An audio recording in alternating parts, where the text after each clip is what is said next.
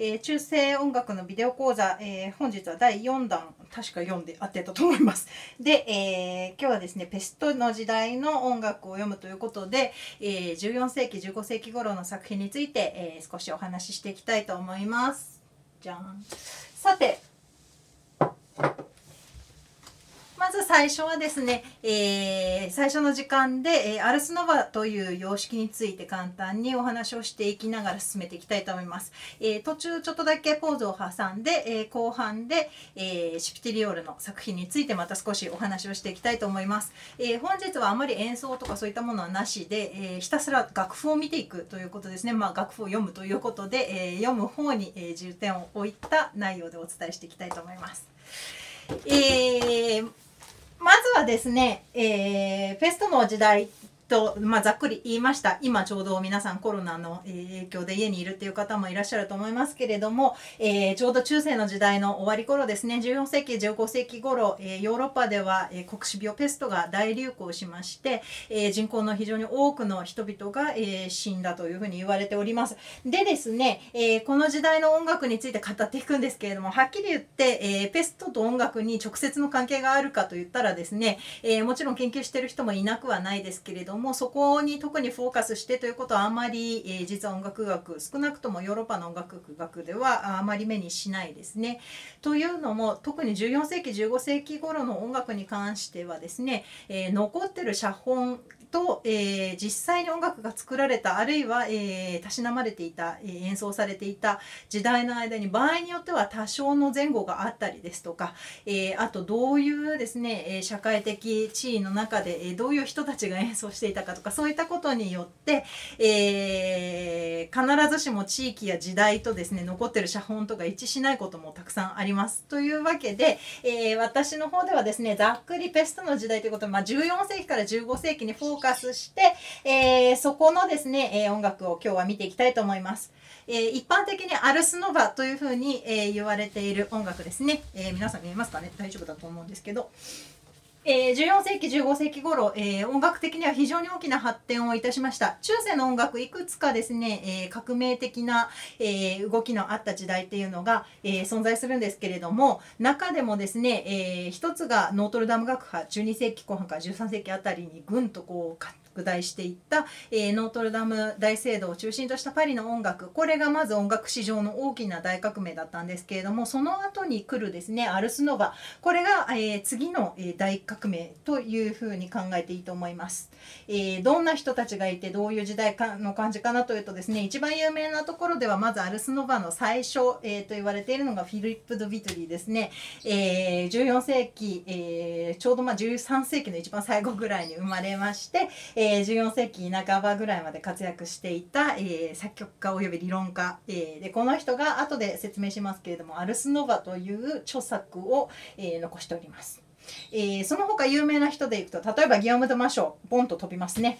えー、14世紀に生まれて、えー、その間ですね、まあ、14世紀後半までの間たくさんの詩と音楽を残した人です、えー、マショに関しては、えー、ナバル王のところで勤めていた、えー、勤めていたというんですかね、えー、活動していた頃にですね試作の中で、えー、ペストについてちらっと触れたりとかそういったものもたくさん残っているので、えー、興味がある方は是非、え、文学の方でも見ていくと面白いと思います。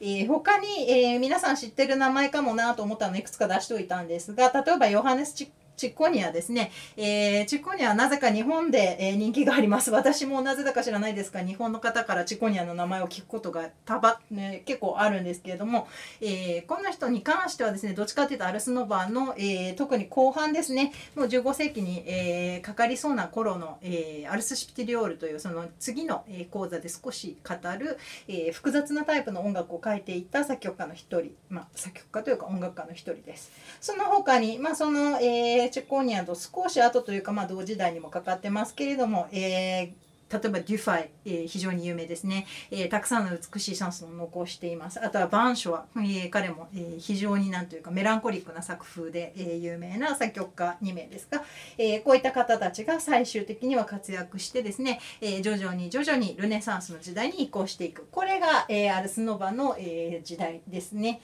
えー、13世紀終わってからですね14世紀に入って、えー、社会がかなり変わります、まあ、ペストの影響かどうかっていうのはまた別ですけれども、えー、特にその世俗のですね社会が非常に発展しまして音楽的にも、えー、豊かな資料がたくさん残されるようになりました、え、そこから15世紀にかけて、え、どんどんと、え、スタイルを発展させて、え、徐々に徐々にルネサンスの、え、作風に、え、移行していく。これが、え、アルスノバの時代ですね。次にですね、えー、こういったアルスノバについて今日は楽譜を見ていきたいんですけれどもそもそもそのアルスノバっていう、えー、音楽のスタイルについてはですね、えー、これ当時の人たちがいろいろに定義をしていたり、えこういうものを新しい音楽としてやっていこうということで寄付法についてなんかは理論書がたくさん出ています。えーそれに関して、えお伝えしていきたいんですがそもそもアルスノバ見てくださいこの大量の、えメモ、えゆっくりゆっくりやっていきますよ。えこの時代ですねアルスノバってどういう意味かっていうと新しい芸術、えー、アルスが、えー、アートですねでノバ、えー、これが、えー、新しいという意味のラテン語ですけれども、えー、今までとは違って新しいものを作るんだよという気概がですね、えー、込められた名前でございます。えー、それまでの例えばノートルダム学派ですとか、えー、音楽やられていた、えー、それまでのスタイルとどう違うのかっていうのをちらっと、え簡単に整理していきますが、えまずはですね世俗作品に関して見ていくと、え特にその詩の形態ですね。どっちかっていうと音楽様式よりか先に、えこういった詩の方文学の方の、えー、展開が早かった、えー、ので、えー、そこから音楽も少しずつ変わっていくんですけれども、え詩の形がですね変わっていきます。それまで、え例えばノートルダム学派の時代でもですね、えモテットなんかでフランス語のものもたくさん、え書かれていて言語が何なのかっていうのはまた別の問題なんですけれども、え少なくとも詩の作り方ですね、え短歌とか和歌とかだったら五七五七七とかいろいろありますけれども似たようにですねヨーロッパの詩にもいろいろなスタイルタイルがあります。この時代アルスノバの時代ちょうど14世紀から15世紀に関しては例えばバラードだとかビルレーだとかえー、ロンドといったような、えー、そのまま音楽の形式になっていくさまざまな詩の形フォームっていうのが、えー、使われるようになっていきます。また、え使われてる言語も、えフランス語のものがもちろん、え増えていきますね、えそれまで写本に残っていたのはラテン語で歌詞が書かれている世俗曲だったりとか、えあるいは、えフランス語とラテン語が一緒になってたりとか、え一部ドイツ語なんていうのもいろいろありますけれども、えだんだんだんだんその地元の言葉、えー、共通の言語ラテン語ではない言語で書かれた作品の数が増えていくのがまあ特徴かなと思います。あとですね、えー、特に世俗で顕著ですけれどもより自由なリズムの扱い方ですね。これが、えー、この時代の音楽の、えー、最大の特徴です、えこれ後でじっくり語っていきますので、えお楽しみにしていてください、えあとですねムジカフィクタといって、えそれまで例えばドレミファソラシドっていう基本の音ですねこれしか使えなかったのが、えこのアルスノバの時代になってですねどんどんどんどんそのドレミファソラシド以外の音ですねいわゆる今の私たちちでいうところのシャープやフラットの音これが、え増えていきます。ざっくりと、え説明しますよ、え本来はもっとですねソルミゼーションとかいろんなこと細かく説明しながら話していかなきゃいけないんですが、まあ、ざっくりとここでは触りだけということでこの ficta というふうに、まあ、一般的に言ったりするんですが、えー、本来の、え、色のパレットの中にはないですね、え、中間色みたいないろんな音を使っていくっていうこの技法がですね非常に、え発展していきました、え特にそれまでノートルダム学派では、えー、4度とか5度とかあとはまあ8度とかそういった音程ですね。ドとファの関係ドとソの関係これが4度5度ですよ、えー、こういった音の関係が好まれていたんですが、えー、アルスノバの時代になるとどんどんそれに加えてですね3度や6度といった響きよくイギリスからの影響というふうにも言われていますけれどもこの3度と6度の響きっていうものがあの非常に多く出てくるようになります、えこのイギリスからの影響っていうのも実はですね、え話によるとイギリスはそもそも古いタイプのノートルダム学派よりもさらにもうちょっと前のスタイルが、えー、イギリスに実は先に渡っていてそれが、えー、ノートルダム学派で本土の方はどんどん新しいその淀五度の響きっていうのに、えーこう一体化され統一されてたのが、えー、イギリスの方ではですね、えー、逆にそのすごい古い様式が残ってしまってそれが逆今度、えー、アルスノバの時代になって逆輸入されるような形で、えー、古い響きの3度6度っていうのがまた復活してきたっていうふうに考える医学者もいたりします。えー、何が事実なのかは当時の人に聞いてみないと分かんないですけれども、まあ、あの新しい音の響きっていうのが、えー、アルスノバの時代に作られ作られて、えー、使われるようになってきますね。あと教会の中の音楽です。これはもうもちろん、えー、カトリックの話ですけれども、えー、それまではですね、えー、ノートルダム学派ではオルガヌムと呼ばれるようなもともとあるグレゴリオ聖歌を使った即興の技っていうのがたくさん使われていたんですが、えアルスノバの時代になって、え後でお話ししますが寄付法ですねさっきも言ったそのリズムの使い方だとかそういったものを細かく定義する寄付のやり方新しく生まれたもので、えじゃあいいのができたら書き留めておけるじゃないということで事前にミサ曲として、えー、作曲家ないしは、まあ、あの名前が残ってないアノニマスもたくさんいますが誰かが作ったものを紙に書き留めてそれをみんなで歌うというような、えー、ミサ曲を作るという、えー、伝統これが生まれてきます。ミサ曲セットの完成って書いてありますが、えーまあ、いわゆるキリエですとかグロリエ、えー、グロリエあとは、えー、アニュスデイとか、えー、イテミサエストとかいろいろな、えー、ミサの定型文、えー、と別の、えー、固定文ですね、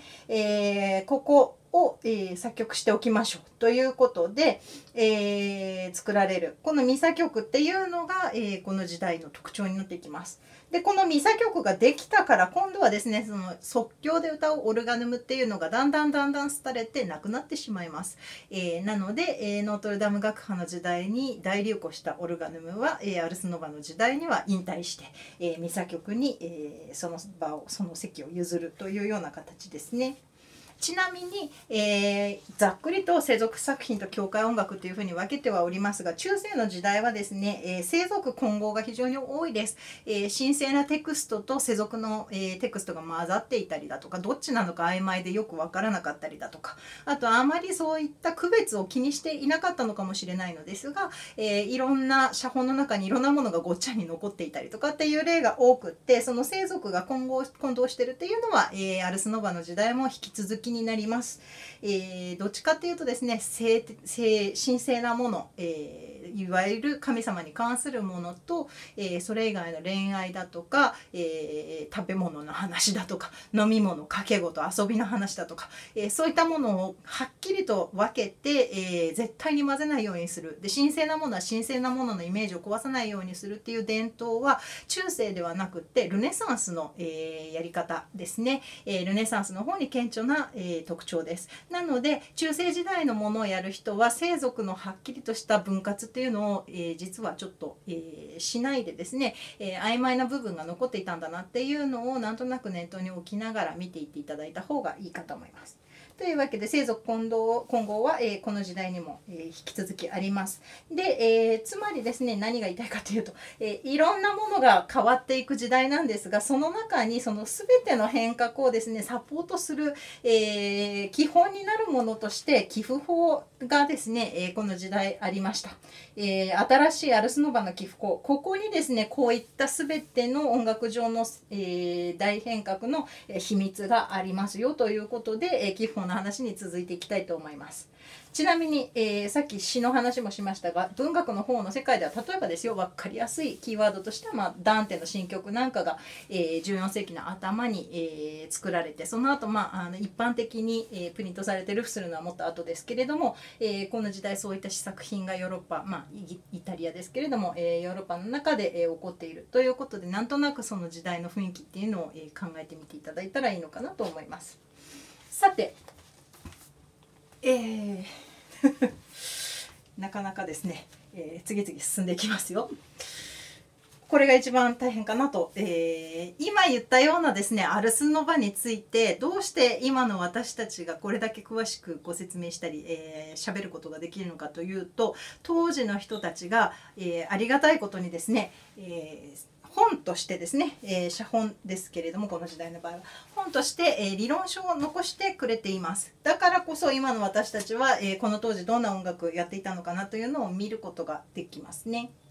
えー、当時の理論家についてですねざっくりと、えー、流れをご説明していきましょう、えー、1314世紀の話なんですけれども、えまずは12世紀ぐらいからですね話を始めなければいけません。音楽理論っていうのはもともと音楽っていうのは単なるその音の、え遊びではなくてですね、え数学だとか、え天文学だとかそういったものに通じる学問として研究されていたので特に教会の中にいる人たちなんかが、え文字が書ける人ですね。こういった方たたちが音楽についての理論書っていうのを残しているんですけれども、えー、その中でもですね特にその音楽の書き留め方と、えー、その対位法っていう音と音の組み合わせをどうやって作るのかっていったようなお話を、えー、集中して書いている理論家っていうのが何人かいました。えその中で例えば重要な話ですよ、えアルスノバの、え一番最初の、え基本となる理論ですね。これを作っていった人たちの名前を少し、えー、挙げていきます。まずは一番最初がですねジャンド・ガーランドって書いてありますがこの人ですね、えー、1190年あたりに生まれて1252年ぐらいに、えー、死んでいるよというふうに言われていますが、えー、この、えー、ジャンド・ガーランドさんこの人はですね、えー、13世紀の方なので、まあ、12世紀13世紀の方なので、えー、12世紀って言ってもまだ10歳とかの子供ですから、まあ、13世紀ですね、えー、の人ですのでアルスノバの様式の中には入ってこないんですが、えー、この人が最初に作った、えー、音楽理論っていうのがその後のアルスノバの展開に非常に、えー、大きな影響を持っています。えー、まずこの人が書いた本ですね「えー、ムジカメンスラビリ」ってこういうふうに、えー、ちょっと見づらいかな、えちっちゃい文字で書いておきましたが、えこの人何なのかというと音楽についての理論いろいろ残した人で音楽辞典なんかも書いている人です。でですね、えもともとイギリス出身でパリにやってきたっていう、まあ、当時のアノニマスキャットとかもそうなんですけれどもよくありげな、え出自を持ってる人というふうに言われていたかと思いますが、えこの彼がですねムジカメンスラビリ。つまり何かかっていうとメンスラビリこれはですね、えー、数えることができる、まあ、定量っていうふうに日本語だと訳しますが、えー長さを数えることのできる音楽の作り方っていうのをですねざっくりとまとめた、えー、理論書を作りました。とは言ってもここまだですね模索段階でアルスノバの最終的な、えー、寄付法のところまでは至ってはいないんです。まだまだ、えー、それよりも少し、えなんというかざっくりした感じの、えー、理論なんですけれどもそれでも、えー、こういったものを書いて、えー、定量的に音の長さを表すことがどれだけ、え寄付の、えーにとって重要なことかあるいはその音楽を発展させる上で非常に重要なポイントになるのでそれについてですねまとめてくれました。その姿ですねフランコン・デ・コローニュ、えこの人も非常に有名な、え人です。この人はパリで活躍した人ですが、えこの人がですねその、えジャンド・ガーランドの、え理論に非常に大きな影響を受けまして一番最初のですね定量寄付への最初の一歩っていうのをまずあの作っていきます、えこの人13世紀から13世紀後半まで、え生きていた人です。ですがアルス・カンタス・メンス・ラビリスというふうに、えー、タイトルがついたラテン語の、えー、書物ですねこれを、えー、出版出版というか、え出します。彼が、えー、作ったのがその後のアルスノバに、えー、直結するような、えー、フランコ式寄付法というふうにも言われますけれども、え音符の形で、えその音の長さを示すっていう、え人類最初の試みですね、えこれをきれいにまとめてくれた人たちです。ちなみにこの2人の名前は特に重要なので出していますがもちろんここに至るまでには、えー、無数のですね名前も残らないいろいろな人たちのいろいろな、えー、試行錯誤があったでしょうしそもそも彼らがゼロから全てを、えー、作ったわけではなくってどこかで、えやっていった実践の中から少しずつ整理してこの形になっているということだと思いますので、え彼がアルスノバを作ったんだとかっていうのははっきり言えないんですけれども、えアルスノバの音楽の形これを作っていく上上で非常に重要な2名です。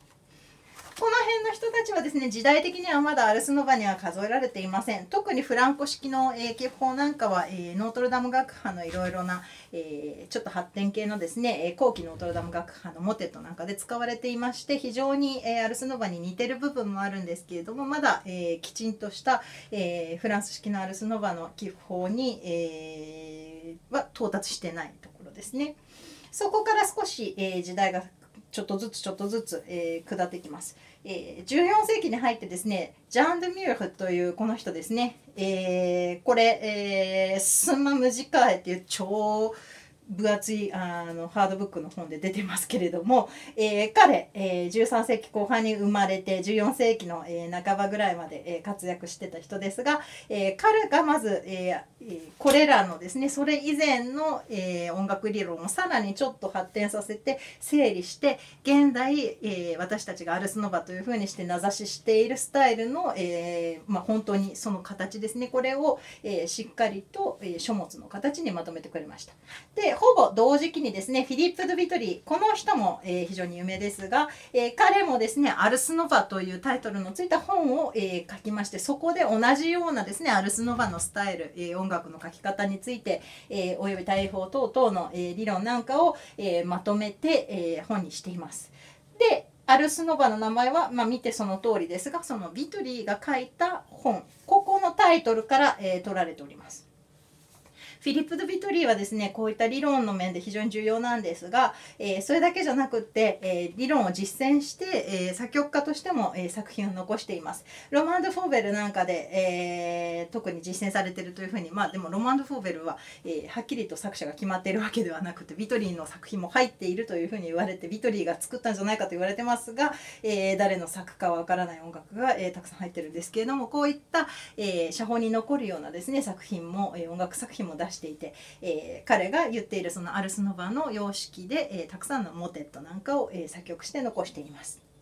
このお二人がですね、えー、ザッツ・アルスノバということで新しい音楽のやり方っていうのを書いていったんですけれども、えー、そこに今度派生してポポポポッとたくさんいろんな人が出てきます。例えばですよ、えー、フラテル・ペトロということで、ペトロ神父ですね、えー、この人が出したパルマ・オシオーザ、非常にこれも有名な理論書です。えー、タイトルもっと長いんですけども、一般的にはパルマ・オシオーザっていうふうに言われています。何かというと、これ、アルスノバ時代の作品の、えー、大砲の理論をまとめた作品です。何の音に対して何の音をつなげていくのかどういうふうに音と音の関係を作っていくのかっていうのを全て細かく記載している、えー、理論書で、えー、中世大法を学ぶ人特にアルスノバのスタイルを学ぶ人は必ず通る道ですね、えー、規則について、え非常に細かく書いてあります。そしてですね少し時代下ります、えこの人えー、ガフリウスさんですね。この人の理論書はですね、えー、さらにすごくてですね、プラクチカ・ムジカーレっていう、えー、理論書なんですが、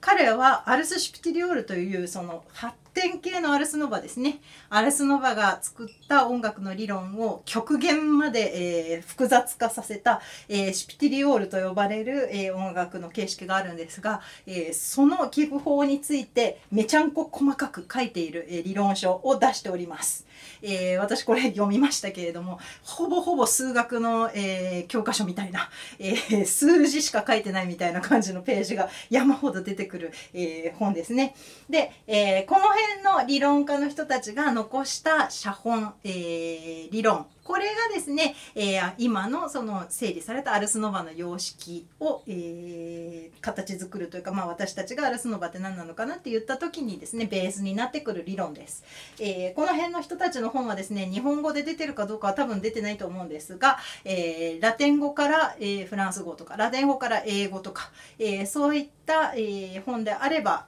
海外で、えー、発売されております。特にフランス語で出てるもの結構多いのでもし読める方いらっしゃったら、えー、ちょっと調べてみると、えー、著作が出てくるかと思います。そんなに高くなく、え売ってます。さてでこの辺の理論家の人たちがですね、えー、みんなこぞって理論を作っていったんですけれどもじゃあそのアルスノバ何なのかっていうのをですね、えー、ご説明していきたいと思うんですね。で、えー、せっかくなのでちょっと写本も見せながらやっていきたいなと思うんですで持ち物が多いんで。よいしょ。まずですね例えばチャギン。えー、メス・デラ・ソルボーヌということで、えー、アルスノバの様式の、ま、割と、えー、初期のシンプルな、えタイプのミサ曲が入っている、えー、ソルボンヌの、えー、大学の図書館の奥深くから出てきた、えー、写本ですね、えー、こんなものがございます、えー、写本の写真があるのでそれをちょっとお見せしますね。えー、ちなみにこの本出してるのがですね、えー、私がソルボンヌでお世話になっていた先生たちが編纂してえらいツルツルなあの紙に印刷されてるんです。なんでこんな見づらい紙に印刷したんだろうと思うような、えー、元の写本がですねすごく汚れていってですね、えー、私実物はあの見てないんですけれどもはっきり言って音楽が書いてるって最初分かんなかったぐらいもうこれでも相当クリーニングしてこの状態です。見てください。なんかあのゴミみたいな感じ、えー、で、えー、こんな汚い写本だったんですけれどもあのよく見たらあれこれ音楽書いてるんじゃんっていうことで丁寧にクリーニングしてですね、えー、フォトショップでえらい加工をしまして、えこのように読める状態まで持っていったという作業を、えーソルボンヌのですねマスタープロと呼ばれる、えー、メディエバル音楽の勉強をする専門コースの生徒たちの、えー、ボランティアを総動員してですね、えー、作り上げたのがこの、え、写本の本ですね、え、すごい面白い本で、え、これソルボンヌの、え、大学の購買で売ってんですけど、えー、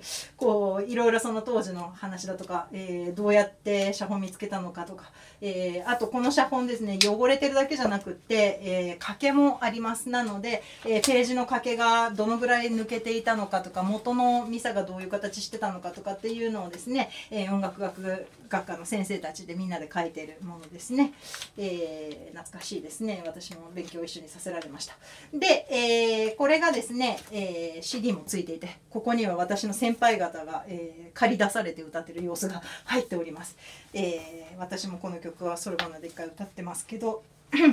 こんな感じのまあ今の楽譜に比較的近いですね。えー、大昔のネウマフとかから比べるとですね、えー、ちゃんと5線5本とは限らないんですよ。この時代6本あったり4本だったりとかいろいろなんですが、えー、赤い線でですね5線のようなものが引かれていて、え破音記号が使われています音符記号。そして、え音符が、えタタタタタと書かれている。でこの音符の読み方がですね、え非常に特殊なので、えアルスノバの読み方で読んでいくんですが、えこれミサ曲でですね全部3世の作品が入っています、え3つの成分がそれぞれバラバラに書かれているんですけれどもこういう書き方ができるのもそれぞれの、えー、音符の読み方音の長さっていうのが確定しているからバラバラに書かれていてもみんなああの一声のでで歌い出すとみんな同じように、えー、拍さえ取っていけば、えー、最終的に合うべきところできちんと合うということでより緻密なポリフォニーができるようになりました。これが、えー、例えばソルボンナのミサですね。他にもですね例えばですよ、えー、ちょっと古めのもので同じく汚い写本を見せます。別に汚いから選んでるわけじゃないんですが初期のアルスノバの例がですねこう汚いのしか残ってなくてですね、えー、例えばこれ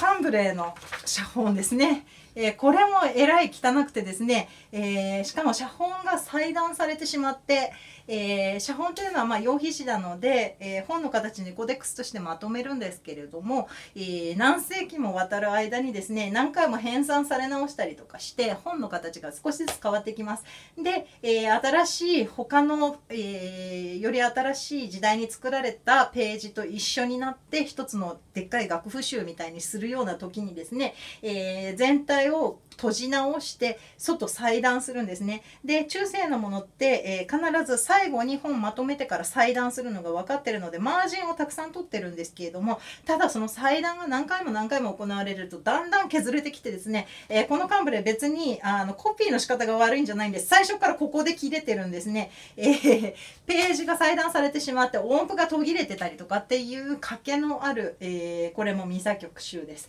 えスタイル的にはさっきのソルボンヌのミサとほぼほぼ、えー、同じようなものですね。あと有名どころでは、えー、アプトのコデックス、 Codex d'Apt というふうに言われているアプトの、えー、写本なんかも似たような、えー、形で、えー、ミサ曲が書かれております。えー、ミサ曲以外のものですねですね、えー、いろいろありますが、後でシュプティリオールの時代について語るときに、えー、世俗曲についてはたくさんお見せするので、とりあえず今は見せずにですね、少し寄付法の話に入っていきたいと思います。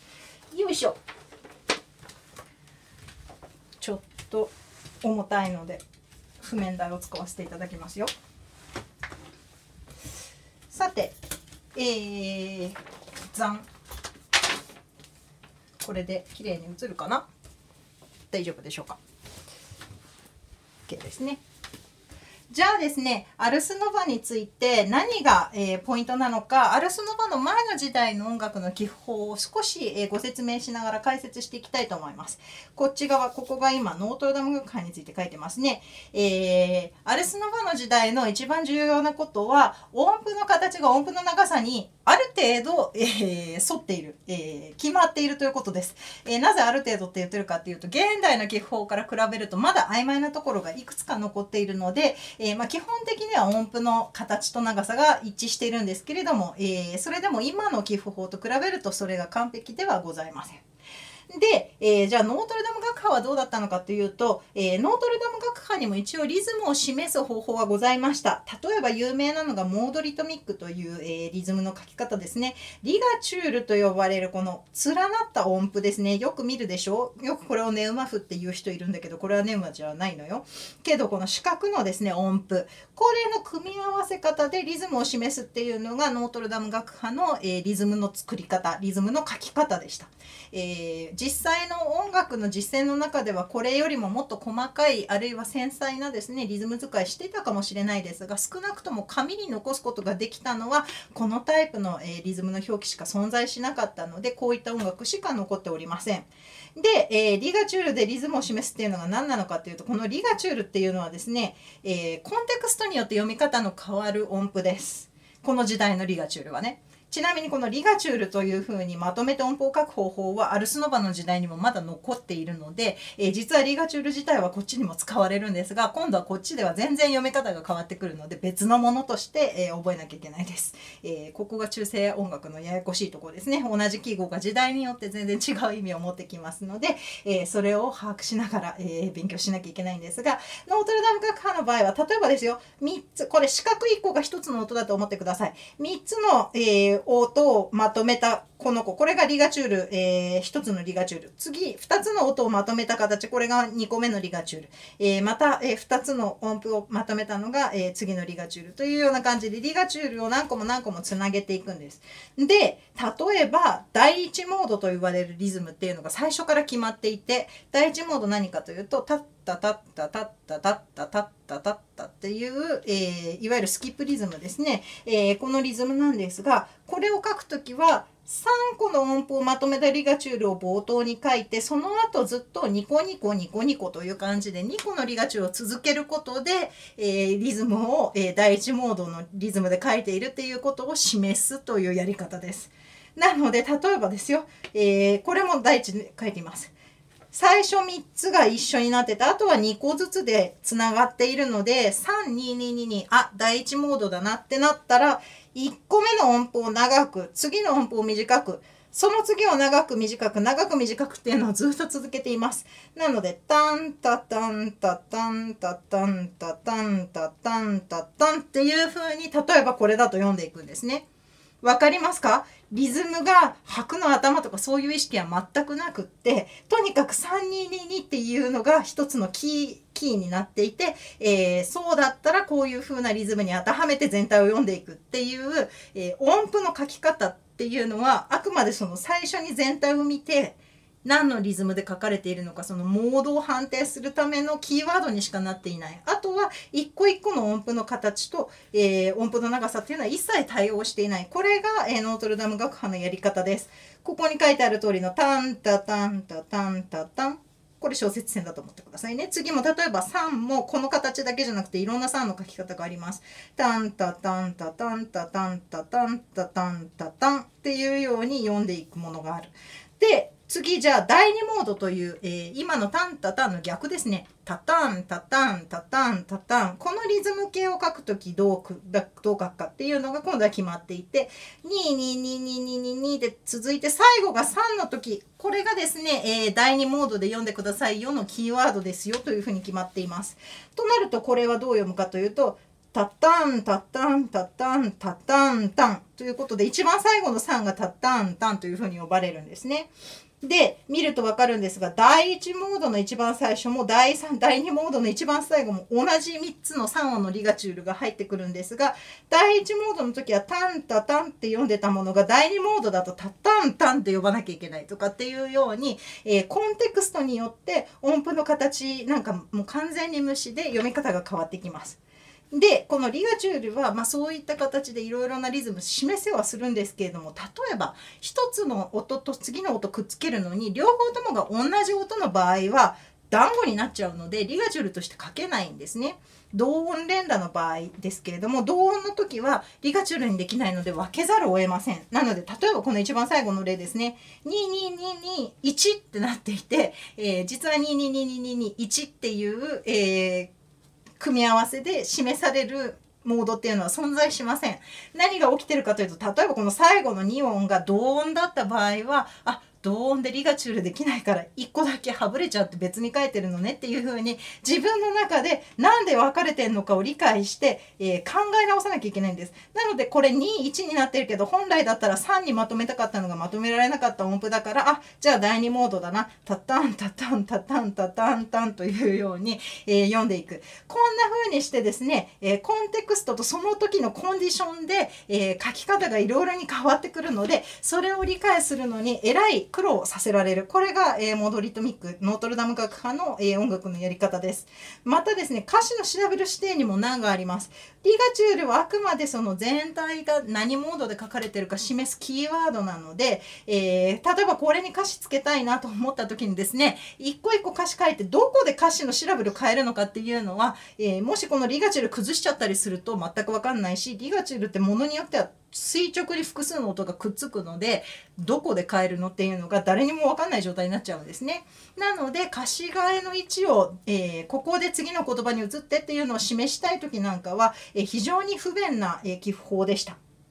またですね、えー、読み方がさっき言ったようにコンテクストによって変わりますし給付の長さとかそういったものも、えー、あとどのタイミングでどの音が入るのかとかどことどこが合わさるのかっていうのが非常に分かりにくい記符法だったことから、えー、複数の、えポリフォニーの作品に関しては、え縦の合わせ方ですね。これがものによって曖昧になっちゃいます、えどのタイミングでどのセーブが入ってくるのかっていうのがはっきり書けなかったり、えコンテクストによっていろいろ読み方が変わりますので、えー、この読み方もできるけど実はこっちの読み方も可能だしどっちが正しいんだろうっていうのが分かんないことあるんですね。えー、そういうのがすごくたくさん出てくると、えー、最終的に曲として合わせる時にですねかなり苦労する、え元ネタの曲を耳で知っていればできるけれどもゼロからそれを譜読みしろって言われるとちょっと苦しいっていうのがこのノートルダム楽派の音楽です。で、えー、この時代はある程度ですね交渉で、えー、有名な作品についてはみんなが知っている状態だったのでこういった寄付法でメモ程度のものでも全然構わなかったんですけれどもやはりですね、えー、水族社会がどんどん成熟してくる、えー、14世紀15世紀に行くとですね、えー、そういった交渉で全てのものが通じているっていうのがだんだんなくなってきます。なので寄付法もより細かく指定する必要が出てきますし、えー、さらにはその細かい寄付法ができるとそれに合わせてですねねいいせっかくだからちょっと手の込んだものを作って残しましょうというような、えー、作曲家の方のモチベーションにもつながっていくということで、えー、こういった寄付法ですね、えこれが発展してきます。アルスノバの基本についてですね、えー、じゃあここにざざっと書いてますがまずえー、非常にありがたいことにですね今までだったらいろんなキーワードとコンテクストを考えながらリズムを読み込まなきゃいけなかったんですがアルスノバの時代になると、えー、それぞれの音符の形によって音の長さっていうのがある程度決まってきます。例えばですねなんとなく今の現代の音符にも似たような、えー、記号がありますけれども、えー、この尻尾のついた長いやつこの子がロンガという名前でですねロンガが一番長い音符です。まあ、実はマキシマとか他のもあるんですけども今話を簡単にしますよ。ロンガが一番長くてですねこのロンガよりも短い音符がブレビスというこの四角です。そしてこのブレビスよりも短い音符これがセミブレビスと呼ばれるこのひし形ですね。そしてセミブレビスよりも短いものそれがミニマ、えー、というこの今の、えー、四分音符に似てる形のものちなみにさらにこのセミブレあミニマよりも、えー、小さい、えー、音符これよりも短い音符が、えー、今度このセミミニマという、えー、今でいうとこの8分音符に若干似た形のですね、えー、音符っていう記号がまず作られます。順番に長いもの短いものですね。でこれらの記号をどのように分割するのかこの分割の規則が、え決められていて整理されているのが、えアルスノバですね。えー、ざっくり、えー、アルスシュプティリオールに入るとまた違うんですけれども、えー、一般的なアルスノバまず4つの分割方法が決められていて、え2分割系なのか3分割系なのかっていうのの組み合わせでですね、えこれが決まってきます。どういうことなのかというとここにちょっと書いてあります。例えばですよこのローンガブレビスはロンガよりも短い音符ですよと言ったんですが、どのぐらい短いのかというと、えー、これが、えー、例えばですよ、このロンガ1個とブレビス3つ分が等しい分割の仕方。つまり、えー、ブレビス1個がですね、ロンガの3分の1の長さになるっていうのがまず1つ。えー、これモードスと言いますが、モードスペルフェクタということで、パーフェクト、完全分割というふうに言われています。えー、3の数字で分けるもの、えー、昔からキリスト教でも、えー、3は神聖な数字というか、まあ、あの象徴する数字ですけれども、えー、3の数字で、え、分割するっていうのを全てですね、ペルフェクタというパーフェクトというふうに、え、当時の人たち、え、呼んでおりました。で、え、このロングがブレビス3つ分、つまりブレビスがタンタンタンに対してロングがターンということですね。タンタンンタンタン。わかりますか？3分の1になる。えー、これがまずペルフェクタのモードスですね。えー、そして今度はですよ、このロンガがブレビス2個分と等しい。つまり、えー、ロンガ1個ブレビス2個に割る。ブレビス1個が、えロンガの2分の1の長さ。これがですね、インペルフェクタという方で、え不完全分割というふうに言われます。3が完全なので、3より、え1個足りないということで、不完全というふうに呼ばれていますね。えどういうことか。ロンガ1個、ターンに対してブレビスがタンタン。タンタンタンタンタンタンということで、えー、ロンガとブレビスの分け方が2なのか3なのかでまずザクッと、えー、2つのモードスが存在します。これがですねどんどんこの下の、えー、段階にも同じようにして、え適用されていって、え4つの、え分割の仕方っていうのが決められているのがこちらですね。あなんかもうこれ 私は講座で今まで、えー、この数年間何度も何度も何度も、えー、お伝えしております、えー、人によっては一発でパッと覚える人もいるのかなと思いますが未だかつて私はそれ出会ったことがございませんで、え皆さんですね分割方法間違ったりだとか、え分割、え上手にいかなくって曲が読めないとかよく聞きます。えーさっきロンガの分割の仕方2種類お伝えしたんですがロンガと、えー、ブレビスの分割って実は曲の実際の曲の中では、まあ、テノールで使いますけれどもあまり、えー、そんなに多用されなくってですね、えー、重要になってくるのがテンプスというブレビスを何個のセミブレビスで割るのかここの分割の仕方。そしてプロラチオーネって言われているセミブレビスを何個の、え、ミニマで分割するのか。ここの部分の分割。これが非常に重要になってきてその分割の仕方が全部で4種類ございます。それぞれですね、えー、例えば4分の3とかえー、8分の6みたいな感じで、えー、音符記号じゃないなんだっけ拍子の記号ですね。あれのようなもので記号が存在します。まずこの丸点ですね。これが、えー、 tempus perfectum cum prolatione perfecta ということで、えー、 tempus、つまりこのブレビスの分割法。これがですね、 perfectum、パーフェクト、つまり3分割される方法ですね。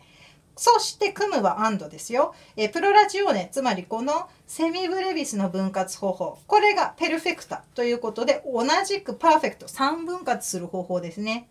えー、つまりブレビス1個がセミブレビス3つに分かれてそれぞれのセミブレビスがミニマ3つに分かれていきます。わかりますか？見えてますかね？大丈夫かな？これがですね、えー、このテンプスペルフェクトムコムプロダチオネペルフェクターの、えー、この印で示される分割方法です。これで楽曲が書かれていきます。ちなみに、えー、このプロラジオネに関してはペルフェクタというふうに書いてあるものの方もございますしあとはよく言うのがマヨールマジョール、えー、メジャーですね、えー、この言葉を使っているところもあります。プロラジオネマヨールっていうふうに書いてあるものも、えー、たくさんあるので、まあ、どっちでも同じです、えペルフェクトですね、え3に分かれてさらに細かく3に分かれる。ということで最終的には8分の9みたいな、え表紙が生まれるんですけれども、えこういった書き方ができる。でここはちょっと今見ないでください次に行っちゃいますえー次がですね、このテンプス、つまりブレビスからセミブレビスの分割、ここは同じく変わらないんですが、えー、その下のですね、プロラジオーネがインペルフェクタ、つまり2分割系だった場合どうなるか。こうですね。えー、1つのブレビスが3つのセミブレビスに分割されて、それぞれのセミブレビスが2個のミニマに分かれます。タンタンタンタンタンタン1と2と3とに分かれるというような、えー、つまりまあ3拍子になりますね。えー、これ。この、えー、分割の仕方。これがですね、この丸印で、えー、表示されます。そしてその次、えー、アルスノバの作品ですごくたくさん見る、えー、特にですねシピティリオールでよく使われている、えー、分割方法です。C マークに点がついているものですね。これ何かというとテンプスはインペルフェクタということで、えー、1つのブレビスが今度2つのセミブレビスに分割されます。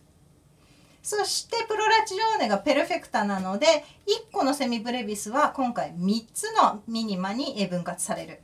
123223ということで最終的にはですね8分の6現代でいうところのこういった、え、分割の仕方にされます。今この赤もちょっと無視してください。最後いっちゃいます。C のマークでできているやつ。これが何かというとテンプスがインペルフェクタ。つまりブレビスが2つのセミブレビスに分割されて、この、えー、ブレセミブレビスがですね、えー、プロラチュオーネが今度インペルフェクタということで2個の、えー、ミニマに分割されます。見えます？ブレビスが2個のセミブレビスに分割されてそのセミブレビスがさらに、それぞれ2個のミニマに、えー、4分の2みたいな感じの、分割になっていきますが、えー、これがですねこの C のマークで示される分割ですね。でアルスノバではこれらの分割法がですね曲の冒頭だったりとかその、え各声部の頭にですねはいこれここで、えー、これを使ってこの分割を使って読んでくださいよっていうのがまああのーありがたいタイプの写本ですと書いてあります。えー、大体ですね、ほぼほぼ全ての写本にはですね見ればわかるでしょって感じで、えー、この記号が隠されてというか、まあ、一切書かれてなくてですね自分で判断しなきゃいけないパターンっていうのがほぼほぼ、えー、大部分、えー、そうなっております、えー。いろいろですね読み慣れていくと、え、楽譜の楽譜面を見ただけでですねああこれあのテンプスペルフェクターで、え、プロラチオーネインペルフェクターで書いてるねとかっていうのが判断自分でできるようになるんですが、えー、この判断がですねできないと楽譜が一切読めません。で、えー、中世音楽初めて習う方はですね大体の人がアルスノバやるとこの、えー、分割方法の、えー、判断で間違ったりとかでなかなかいつまでたっても楽譜が読めないっていうようなことが起こってくるので結構面倒くさいんですけれども、まあ、慣れればそこは読めるようになっていきますね。で、えー、これらのですねリズム系を使っていくんですがちょっと待てよと、えー、ここを見てほしいんですが例えばですよ、このペルフェクタ系の3分割されてるものですね、えー、例えばドレミファミレドなんかそそういうような一個一個全部違う音が入ってる、えー、曲書くんだったら確かにこれだけでいいよね。えー、例えばドレミファミファソとか、えー、なんか一個一個音が動くんだったら確かにここに書いてある記号だけでことが済むんだけど例えばこの中でですねタンタッタンタッタッタンとかそういう少し、えー、手の込んだリズム書きたい時はどうするんだいと、えー、3分割系の時に2音化分の音符を書きたい時のやり方がないじゃんっていうことになってしまいます。でこれがですねアルスノバで一番面倒くさいところなんですが、えー、実はこのセミブレビスっていうのはですね、えー、音階が微妙に、え、揺れます。えー、 perfecta 系の、例えばこの、えー、 tempus perfectum cum prolatione perfecta で書かれてる楽譜がこのような形のものがあったとしますね。えー、セミブレビスにミニマが次1個あって、次セミブレビス、ミニマ、ミニマ、セミブレビスっていう風に、えー、音符が連なっていたとしたら、これ実は、えー、セミブレビスの次に1個だけミニマがある場合、これですね、このミニマは手前に入れて、セミブレビスの音階を3じゃなくて2で読むという規則がございます。どうなるかっていうと、普通だったら1、2、3取るところが、1、2、3、3個目、1、2、3、1、2、3、ターンタというように、えー、音階が、えー、入ってきます。そして今度、これですね、2つのセミブレビスの間に2つのミニマが入ってる場合、これどうやって読むかっていうと、実はですね、ミニマが2個ある場合、2個目の子ですね、その次がセミブレビス、えー、まあ、つまり音階が1つ、えー、ワンランク上の子が次に来てる場合アルテラシオンといって2個目の音符を伸ばしなさいという規則が別にございます。ここどう読むかっていうと123この子は123なんです。なぜなら次にミニマが2個連続しててサンドイッチになっているから。123、123、123ということでこの2個目のミニマちゃんが2音化分に伸びます。基本的にはミニマっていうのはあまり音階が動かない音符ではあるんですけれども、えー、このアルテラシオの規則だけはですね、えー、常に、えー、つきまとってきます。で、この子はしょっちゅう2になるので、え結構そこで皆さん読み間違えることが多いですね。なので、例えばこの一番上の子、123、123、123、123ということで、ターン、タン、ターン、タッタン、タンっていうリズムがこれで実は書き表されています。この規則がですねなかなか最初のうちは頭に入らず非常に、えー、めんどくさく、えー、間違いやすいところです。さらにですね、えー、他にも規則があってもっと手の込んだリズム書きたい時例えばこんな感じでですね点があるとこれディビジョンの点というふうに言うんですがこれ小節線と同じ、えー、形になります。えー、何が起きるかというと1個だけ1人だけここにあぶれてる場合は手前のセミブレビスと一緒にして、えー、3音階を作るんですけれども、えー、この間に点がある場合この子とこの子を分けなさいよという意味になります。どうなるかというとこの最初のセミブレビスで3音階を取ります。123そして次にミニマが入って123です。2個目のセミブレビスが2音階分になります。そしてさっきあったようにセミブレビス2個の間に2個のミニマが挟まれていますのでここはまた2個目のミニマがアルテラシオンされます。なので最終的にできるリズムが123123123123123ということでこのミニマ1個とセミブレビスでできるリズム系とミニマ2個でアルテラシオンを使ってできるリズムは最終的には音としては同じリズムになりますが書き方が異なりますね。で